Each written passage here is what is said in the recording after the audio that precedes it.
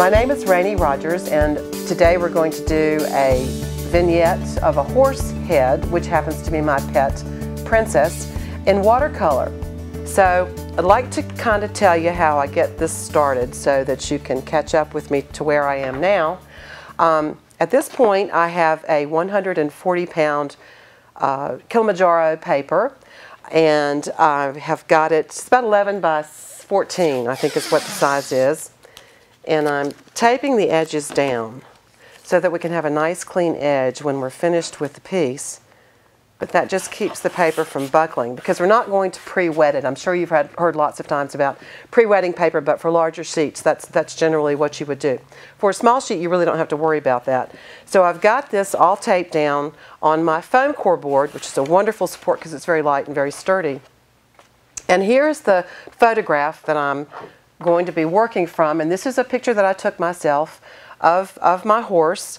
And it's always good to paint something that you're familiar with. Your subject matter should be something that you that you really enjoy and and are familiar with because that will be reflected in the piece that you finish doing actually. So I've already sketched this out with pencil kind of to save us a little bit of time today. But when I do a sketch, when I sketch it out, I use I pay a whole lot of attention to my negative space because that will give you a good uh, sense of where your line goes.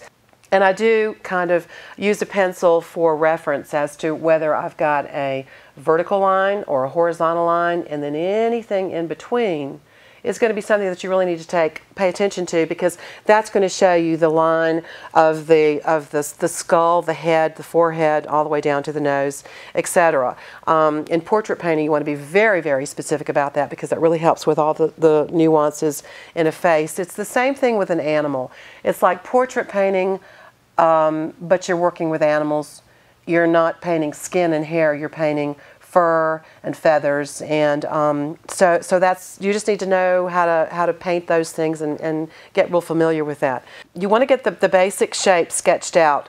And when you're looking at your subject you also want to kind of um, squint your eyes down so you can get the basic larger shapes too because that's what you're going to be looking at. Not going for detail right away. You want to build up to the detail. Go with the larger larger shapes first uh, let me bring you over here to my palette. Uh, I keep a pretty simple palette. Uh, I like warms and cools of all the of all the colors. I've got a sky blue. I have a cobalt blue, um, which is a little cooler, of course, than the sky blue. That's going to be warm. I like a warm and a cool. When you when, when you mix a warm and a cool of the same hue, you get kind of a what they call an octanic color, which is a very bright, very brilliant color that you really can't get in a tube. Um, this is an ultramarine blue, great standby because it can be mixed with a lot of these colors to create good blacks. Um, I have a titanium white, and all these are American Journey watercolors. I have an earthen green, no, I'm sorry, this is a hooker's green. I have a, a permanent green, and I have an earthen green here, which is always good when you're doing wildlife or, or animals. You want, you're going to be painting them, chances are, in a natural environment, so you want to keep your colors kind of natural. Maybe a little more grayed down than you would in, um, say, an abstract. Uh, this is a peach, peachy keen. This is a poppy color, or uh, actually this is a cadmium red. This is a burnt sienna, and then we have a burnt umber. And those are basically all the colors that you're going to need to, to to do what we're doing here. Of course, there are a bazillion other kinds of colors that you can choose from, but at this point, we really don't need to get that, that involved. Um, my brushes are, I guess my favorite brush is a number 12. This is a cheap, Cheap Joe's. I think it's a dragon's tongue. I use this one quite a bit. I also use the, um, here's a sable, that's a, a number 12 sable that's a little bit longer on a point and then it goes on down to some rounds. I've got a number three. It's a Robert Simmons brush. Got another Robert Simmons. I have two threes. I must like those a lot. And, um, and that's really good to have. There's nothing wrong with having two or one or more of the same size brush because you might be having using them in different colors. But that's just basically the, the, the, brushes that I like to use for something like this size. Now, when I start on an animal, you are painting something that is living. So um, and the eyes are the windows to the soul. So I always kind of go into the eye first because I think that's real important.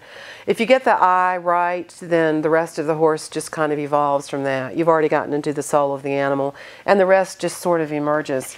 So what we'll do is go ahead and state this eye. As I said, I've already kind of got the basics. And as you see in the sketching that I've done, it's very quick, very loose, but I've kind of um, indicated where some of the dark areas are going to be on the horse, where the indentations are down uh, the side of the of the head, where the skull goes in, um, where the nose area, all the way down to the actual the soft muzzle of of the horse. You don't have to know what the different parts of an animal are. Just just see it, just feel it, just squint it down, see where the darks and lights are, and let it all kind of evolve. Um, another thing that I do, which can help uh, with that, with sketching out, is, is to turn the piece upside down. And when you're turning it upside down, you're looking at angles and you're looking at shapes much more than you are uh, a neck, a nose, a muzzle, an eye. And, and that's a really good thing too. So while I have this upside down, I'm going to just kind of double check some things about my, my drawing and make a few little changes here uh, because I can see so much more this way than I can when it's when it's right side up, and that's the whole right brain left brain thing. Um, the left side of the brain is going to tell you what it is. The right side is going to tell you that it just looks really good. It doesn't really care what it does. Um, but you can see so much more of the folds of the skin and uh, just with it upside down is a real quick way to do that. Um, so I'm just going to kind of make some corrections here. The eye, I want to go into a little bit more here. Just going to kind of get in there. Double check. Come down here. When you do the eye of whatever animal it is you're painting, then you, you really are getting to the essence of the animal. And uh, if you do a really good job, you can just sort of start talking to it and talk your way through the through the rest of your painting. Okay, that's going to work for now. Um, when I have this particular picture upside down, I'm actually seeing it much more clearly than I am when it's right side up. So for the eye, I'm going to keep it upside down. I have no black in my palette because I don't really use black. Black is a good ace in the hole if you really need something that's going to be really, really dark. But black can have a tendency to be a little dead. Lamp black is a really good black to use. But instead of a black, I'm going to pick up my ultramarine blue and lots of paper towels. And I'm going to come over here and get some of the burnt umber and I'm going to mix it in. Now, the, there are some areas that that are black, and that's the corners of the mouths, the nostrils, and the pupils. Um, the horse, this horse's eye is very dark anyway. So I'm going to actually start off with a little more brown because they have these great big brown eyes. And I'm just going to come right on in here and uh, start stating the eye.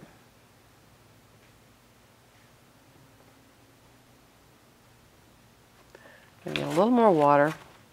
thing about watercolor is it's watercolor. And so you need to use water use as much as you need. Okay, so while that's still a little bit wet, let me go in here. I'm just going to kind of state the pupil part of the eye because it's all going to blend in. It is not going to be terribly distinguishable where the pupil is. Now while I'm working on that, I'm going to kind of mix some of this uh, the darker black sort of color and then the, the burnt sienna. And I'm going to start painting around the outside of the eye. And because I know this animal, and while even while I'm painting this, I can almost, I can just kind of um, feel her or hear the sounds that she makes. And so it's kind of neat, just her personality, because I know it just sort of starts to come out. Now I'm gonna, just going to kind of daub back into that pupil area. It's still wet, so it's all going to blend itself. And that, once again, is more beauty of watercolor, is that that it can you can let it blend itself or you can take the the time to to blend it with a brush. All right, I'm going to kind of leave that there.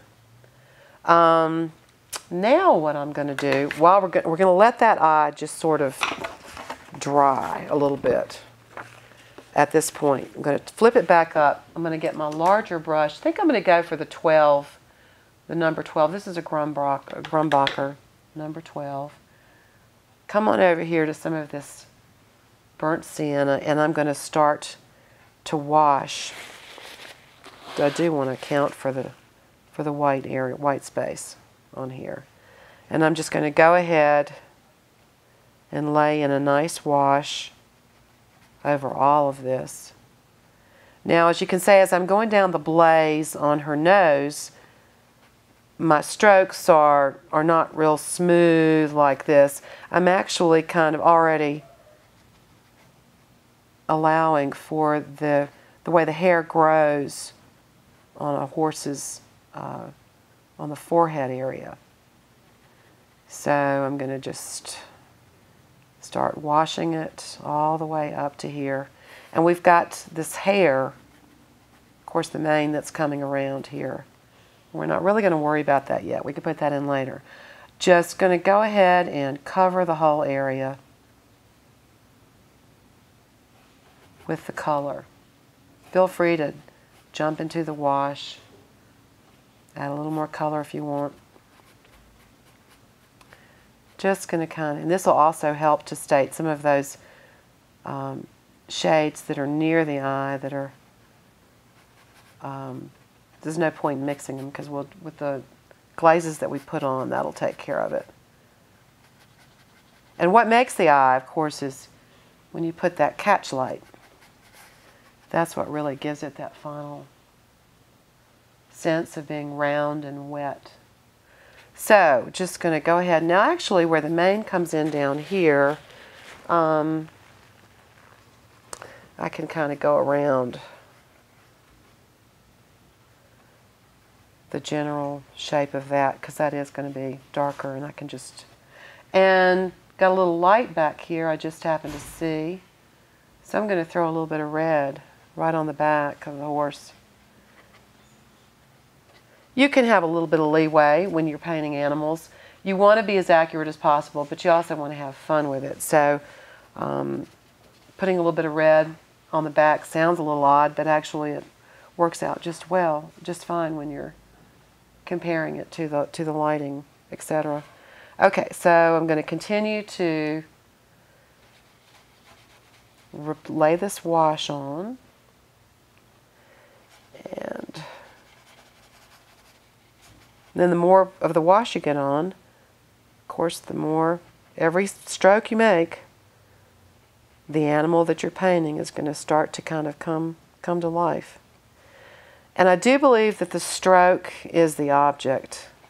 That's one of the um, properties of painting that really seems to hold true.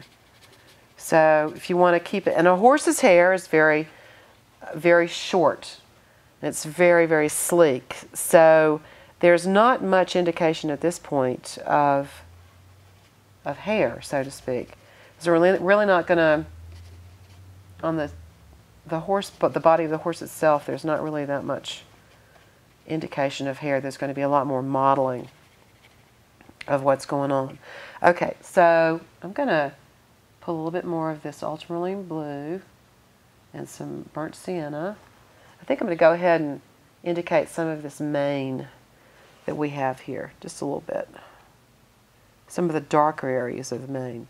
Now, to find the darker areas in the animal or also in the in the landscape, because if you're going to paint animals, you need to know about landscape painting too, which would be a whole other thing. But the way to do that is to squint it down, is to really squint your eyes and kind of scatter vision is what some people call it. And um, so that you're not uh, uh, confused by the, de the detail of the whatever it is you're painting, but that you're more consumed with, with the general hue and the shadow and the light. And then you can come in and you can open your eyes more fully and um, then ascertain and assess how you're going to paint the other elements but simplicity is key. Um, so I'm just going to kind of go in. I'm squinting it down and I'm just going to put some dark in this mane. I'm going to go ahead and work it down in here. Now, the darks are going to show you the shadow areas of the mane and they're going to show you how the the hair on the mane is falling.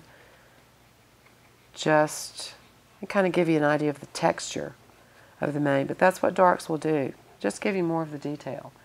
So I'm going to reach in here and get some more of the same color. And you can see how black that is, or how dark it is. And I'm just going to kind of fill this in. It's like already it's starting to come to life.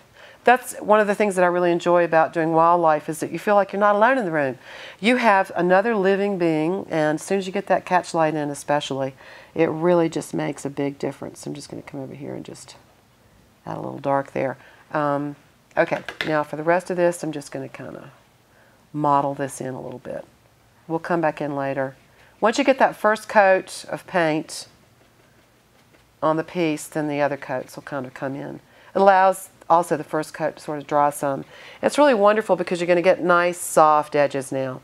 Um, painting pets or animals, uh, really you need to have, it's nice to have more definition. So at this early stage you can get nice soft shadows and that's always nice because you're going to come in and you're going to really sharpen those up. So around the ear, just kind of get that basic thing, the shapes. Don't even know what they are. Don't try to figure out what they are. Just look at the shapes. Everything from the most minutia of change in, in shade to, uh, to the larger pieces. Um, okay, so we got, and everything you do, it's a comparison no matter what you're painting, is always a comparison.